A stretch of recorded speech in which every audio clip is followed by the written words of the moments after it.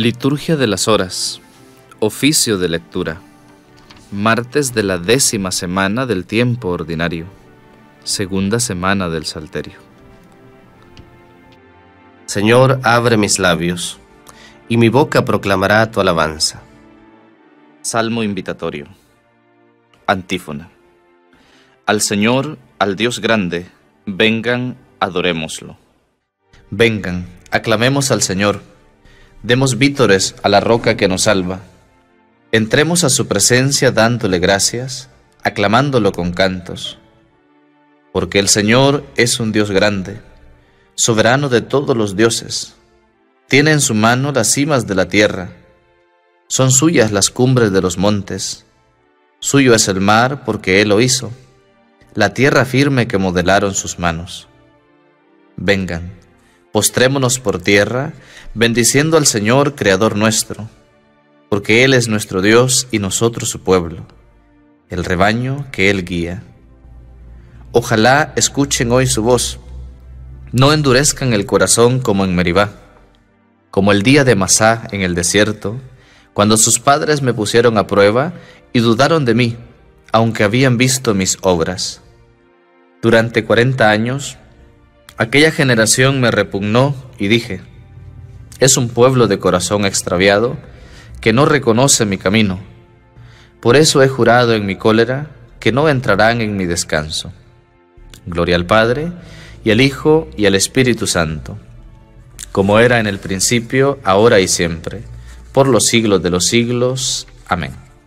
Al Señor, al Dios grande, vengan, adorémoslo. Himno. Espada de dos filos, es, Señor, tu palabra. Penetra como fuego y divide la entraña. Nada como tu voz, es terrible tu espada. Nada como tu aliento, es dulce tu palabra. Tenemos que vivir encendida la lámpara, que para virgen necia no es posible la entrada. No basta con gritar, solo palabras vanas, ni tocar a la puerta cuando ya está cerrada espada de dos filos que me cercena el alma, que hiere a sangre y fuego, esta carne mimada, que mata los ardores para encender la gracia. Vivir de tus incendios, luchar por tus batallas, dejar por los caminos rumor de tus sandalias. Espada de dos filos es, Señor, tu palabra. Amén. Salmo 36, primera parte. Antífona. Encomienda tu camino al Señor y Él actuará. No te exasperes por los malvados, no envidies a los que obran el mal. Se secarán pronto como la hierba, como el césped verde se agostarán. Confía en el Señor y haz el bien. Habita tu tierra y practica la lealtad. Sea el Señor tu delicia y Él te dará lo que pide tu corazón. Encomienda tu camino al Señor, confía en Él, y Él actuará. Hará brillar tu justicia como el amanecer, tu derecho como el mediodía. Descansa en el Señor y espera en Él. No te exasperes por el hombre que triunfa, empleando la intriga. Cohibe la ira, reprime el coraje. No te exasperes, no sea que obres mal porque los que obran mal son excluidos, pero los que esperan en el Señor poseerán la tierra. Aguarda un momento, desapareció el malvado. Fíjate en su sitio, ya no está. En cambio, los sufridos poseen la tierra y disfrutan de paz abundante. Gloria al Padre y al Hijo y al Espíritu Santo, como era en el principio, ahora y siempre, por los siglos de los siglos. Amén. Encomienda tu camino al Señor y Él actuará. Salmo 36, segunda parte. Antífona. Apártate del mal y haz el bien. Al honrado lo sostiene el Señor. El malvado intriga contra el justo, rechina sus dientes contra él, pero el Señor se ríe de él, porque ve que le llega su hora.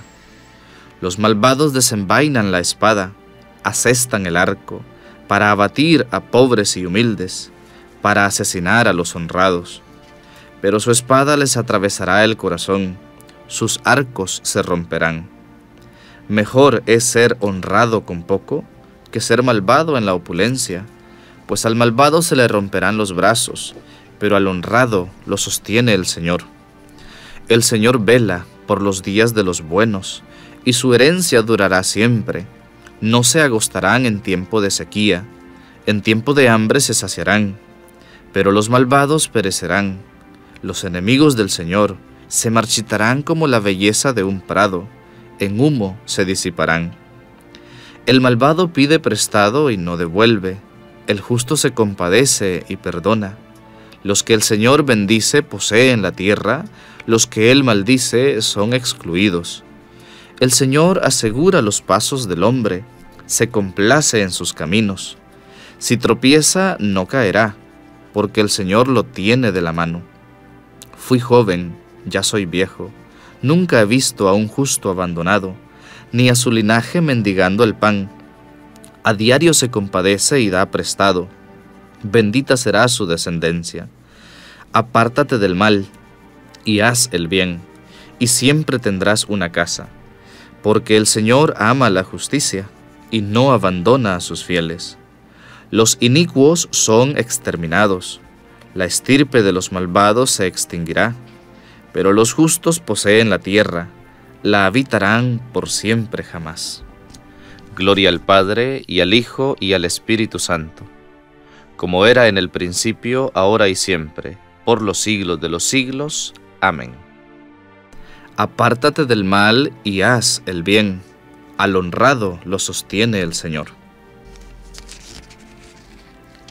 Salmo 36, tercera parte. Antífona. Confía en el Señor y sigue su camino. La boca del justo expone la sabiduría su lengua explica el derecho, porque lleva en el corazón la ley de su Dios, y sus pasos no vacilan. El malvado espía al justo e intenta darle muerte, pero el Señor no lo entrega en sus manos, no deja que lo condenen en el juicio. Confía en el Señor, sigue su camino, Él te levantará a poseer la tierra, y verás la expulsión de los malvados. Vi a un malvado que se jactaba, que prosperaba como un cedro frondoso. Volví a pasar y ya no estaba. Lo busqué y no lo encontré. Observa al honrado, fíjate en el bueno. Su porvenir es la paz. Los impíos serán totalmente aniquilados. El porvenir de los malvados quedará truncado. El Señor es quien salva a los justos. Él es su alcázar en el peligro. El Señor los protege y los libra, los libra de los malvados y los salva, porque se acogen a Él. Gloria al Padre y al Hijo y al Espíritu Santo, como era en el principio, ahora y siempre, por los siglos de los siglos. Amén. Confía en el Señor y sigue su camino. Versículo. Enséñame, Señor, a gustar y a comprender porque me fío de tus mandatos. Primera lectura de la carta a los Filipenses, capítulo 1. Exhortación a la imitación de Cristo. Hermanos, me basta con saber que lleváis una vida conforme al Evangelio de Cristo. De ese modo, ya sea que yo vaya y os vea, o bien que, estando ausente, reciba noticias de vosotros, estaré seguro de que os mantenéis firmes en un solo espíritu, luchando todos a una por la fe del Evangelio, sin dejaros amedrentar en nada por los enemigos. Esta firmeza vuestra es para ellos una prueba de perdición, y para vosotros una señal de salvación. Y esto es un don de Dios, porque Dios os ha dado la gracia de creer en Jesucristo, y aún de padecer por él, porque combatís la misma pelea que me visteis combatir a mí, y que sabéis sigo combatiendo. Por tanto, si queréis darme el consuelo de Cristo y aliviarme con vuestro amor, si nos une el mismo espíritu y tenéis entrañas compasivas, dadme esta gran alegría. Manteneos unánimes y concordes con un mismo amor y un mismo sentir. No obréis por envidia ni por ostentación. Dejaos guiar por la humildad y considerad siempre superiores a los demás. No os encerréis en vuestros intereses, sino buscad todos el interés de los demás. Tened entre vosotros los sentimientos propios de una vida en Cristo Jesús. Él, a pesar de su condición divina, no hizo alarde de su categoría de Dios. Al contrario, se anonadó a sí mismo y tomó la condición de esclavo, pasando por uno de tantos. Y así, actuando como un hombre cualquiera, se rebajó hasta someterse incluso a la muerte, y una muerte de cruz. Por eso Dios lo levantó sobre todo, y le concedió el nombre sobre todo nombre, de modo que al nombre de Jesús toda rodilla se doble en el cielo, en la tierra, en el abismo, y toda lengua proclame, Jesucristo es Señor, para gloria de Dios Padre. Responsorio. Cristo llevó nuestros pecados en su cuerpo sobre la cruz, para que muertos al pecado vivamos para la justificación. Así, por su muerte, reducía a la impotencia al que retenía el imperio de la muerte, es decir, al demonio. El que impulsa nuestra fe sufrió con toda constancia la cruz para ganar el gozo que se le ofrecía. Así, por su muerte, reducía a la impotencia al que retenía el imperio de la muerte, es decir, al demonio. Segunda lectura. De la carta de San Ignacio de Antioquía, obispo y mártir a los romanos. Mi amor está crucificado. De nada me servirán los placeres terrenales ni los reinos de este mundo. Prefiero morir en Cristo Jesús que reinar en los confines de la tierra. Todo mi deseo y mi voluntad están puestos en aquel que por nosotros murió y resucitó se acerca ya el momento de mi nacimiento a la vida nueva. Por favor, hermanos, no me privéis de esta vida, no queráis que muera. Si lo que yo anhelo es pertenecer a Dios, no me entreguéis al mundo, ni me seduzcáis con las cosas materiales. Dejad que pueda contemplar la luz pura. Entonces seré hombre en pleno sentido. Permitid que imite la pasión de mi Dios. El que tenga a Dios en sí, entenderá lo que quiero decir y se compadecerá de mí, sabiendo cuál es el deseo que me apremia. El príncipe de este mundo me quiere arrebatar y pretende arruinar mi deseo que tiende hacia Dios. Que nadie de vosotros, los aquí presentes, lo ayude. Poneos más bien de mi parte, esto es, de parte de Dios. No queráis a un mismo tiempo tener a Jesucristo en la boca y los deseos mundanos en el corazón que no habite la envidia entre vosotros, ni me hagáis caso si, cuando esté aquí, os suplicare en sentido contrario. Haced más bien caso de lo que ahora os escribo, porque os escribo en vida, pero deseando morir. Mi amor está crucificado, ya no queda en mí el fuego de los deseos terrenos. Únicamente siento en mi interior la voz de una agua viva que me habla y me dice, ven al Padre. No encuentro ya deleite en el alimento material ni en los placeres de este mundo. Lo que deseo es el pan de Dios, que es la carne de Jesucristo, de la descendencia de David, y la bebida de su sangre, que es la caridad incorruptible. No quiero ya vivir más la vida terrena, y este deseo será realidad si vosotros lo queréis. Os pido que lo queráis, y así vosotros hallaréis también benevolencia. En dos palabras resumo mi súplica. Hacedme caso. Jesucristo os hará ver que digo la verdad, Él, que es la boca que no engaña, por la que el Padre ha hablado verdaderamente. Rogad por mí, para que llegue a la meta. Os he escrito no con criterios humanos, sino conforme a la mente de Dios. Si sufro el martirio, es señal de que me queréis bien, de lo contrario, es que me habéis aborrecido. Acordaos en vuestras oraciones de la iglesia de Siria, que, privada ahora de mí, no tiene otro pastor que el mismo Dios. Solo Jesucristo y vuestro amor harán para con ella el oficio de obispo. Yo me avergüenzo de pertenecer al número de los obispos.